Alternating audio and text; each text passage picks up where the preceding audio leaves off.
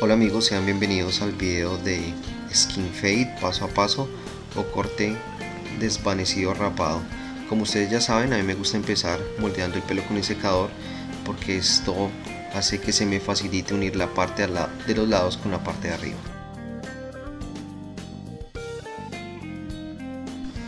Después con mi máquina Oster Clase 76 eh, rapo el pelo de los lados con la guía 3,5. Esta guía es la misma guía plástica Wall 2 con la palanca hacia abajo, o sea la 2,5. Después de haber hecho mi primer corte a los lados, empiezo uniendo la parte de abajo con la parte de arriba con la técnica de máquina sobre peine. porque dejé la medida 2,5 en la parte de los lados? Bueno, eso fue a consideración del cliente que me pidió el desvanecido desde la 0 rapándolo hasta la 2 2 y media. Y en este caso pues como lo dije anteriormente utilicé la 3 y media de mi Oster Class 76 en eso se puede presentar un poco de confusión porque las medidas de la Oster 76 las metálicas difieren de la mayoría de guías plásticas Wall como se pueden dar cuenta ahora empiezo a establecer mi guía de fade o desvanecido rapando con la cero.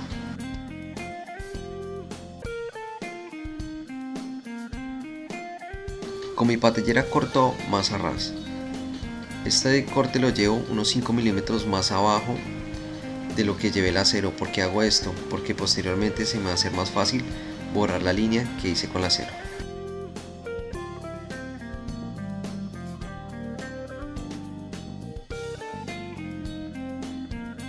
Con mi afeitadora Wall limpio completamente el área del desvanecido, asegurándome de no llevarla a la misma altura que lleve la patillera. porque hago esto? Para no hacer líneas que posteriormente me sean difíciles de borrar.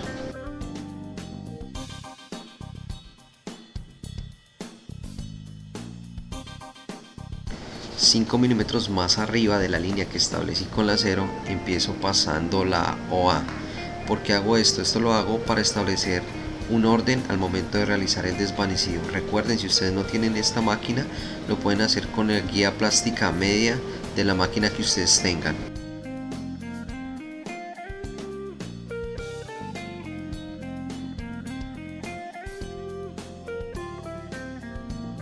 Con mi máquina Stelling Reflection Senior y la guía 1,5 Wall empiezo a borrar la línea que hice con la media.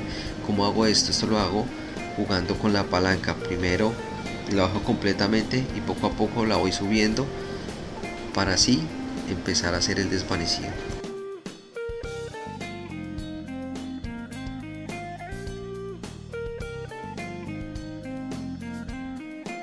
Con la guía plástica número 1 sigo desvaneciendo la línea que creé con la media es necesario fijarse muy bien en cómo se realiza la técnica. Si quiere más información de la técnica, le recomiendo que vea mi video Consejos prácticos para hacer un fade que aparece aquí en la lista de, videos de mi canal Danny TV.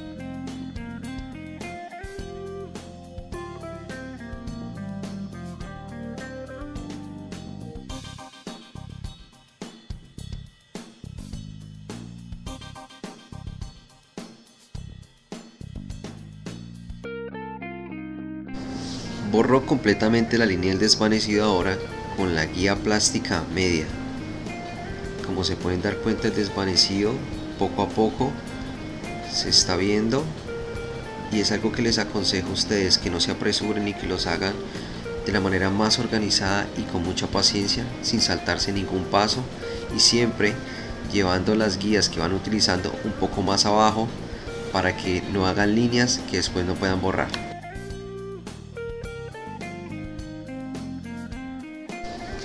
Para borrar la línea que hice con la acero, empiezo utilizando la máquina sin ningún tipo de peine con la palanca hacia abajo.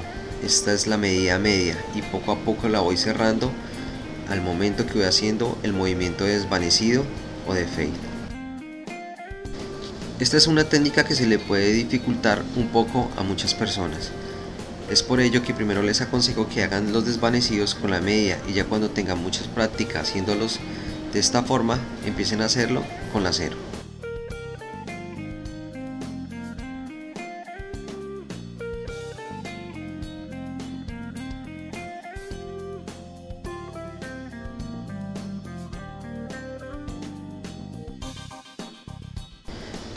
Con mi patillera Andis GTX o Andis GTS empiezo marcando el contorno del corte de pelo eh, porque siempre digo las máquinas que yo uso durante el corte porque me gusta que ustedes sepan con qué herramientas yo trabajo recuerden amigos todas estas herramientas las pueden conseguir en Colombia con mis amigos de Barber Depot es una compañía que yo recomiendo los cuales me patrocinan y de la cual también soy socio. Así que simplemente búsquelos como Barber Depot Colombia en Facebook e Instagram.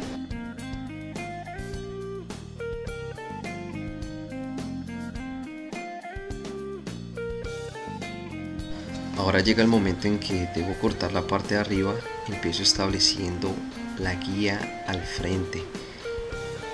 Y para crear un efecto de desconectado corto con la técnica de corte en punta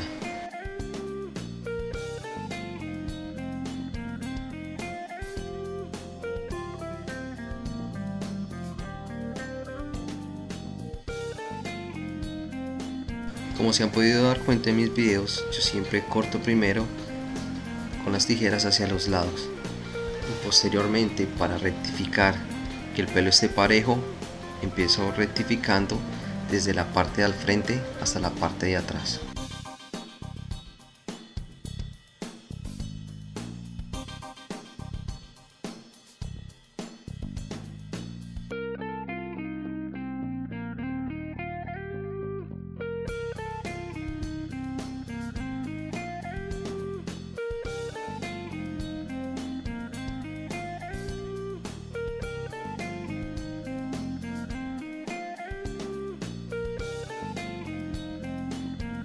Con mis tijeras de entresacar le doy al corte un defecto de más desconectado. Este proceso lo hago utilizando las mismas divisiones con las cuales hice el corte de pelo.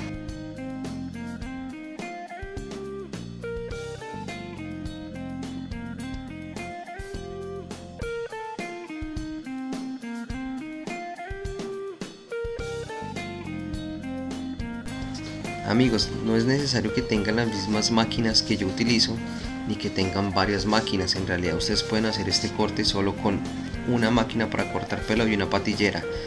Como ya les he dicho en otros videos, yo uso varias máquinas, es para extender la vida de ellas y porque algunas de estas máquinas las tengo para fines específicos. Además recuerden, todas las máquinas para cortar pelo se calientan y esto puede representar un problema si se quieren realizar dos cortes de pelo seguidos.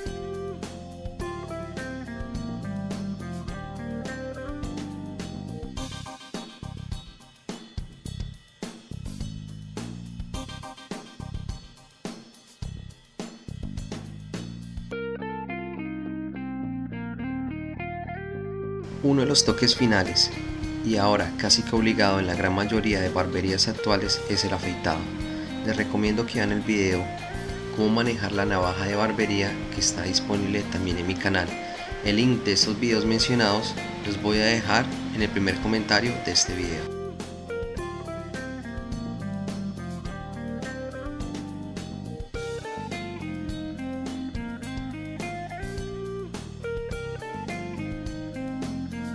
Paso final del corte de pelo es el moldeado con el secador y la aplicación de producto. Eso es algo indispensable que deben hacer los barberos de ahora. Recuerden amigos, mi canal es Dan TV. Por ahí hay personas que están subiendo videos a otros canales de YouTube sin mi autorización. Siempre a la hora de aplicar el producto es importante que lo distribuyan bien en la palma de su mano.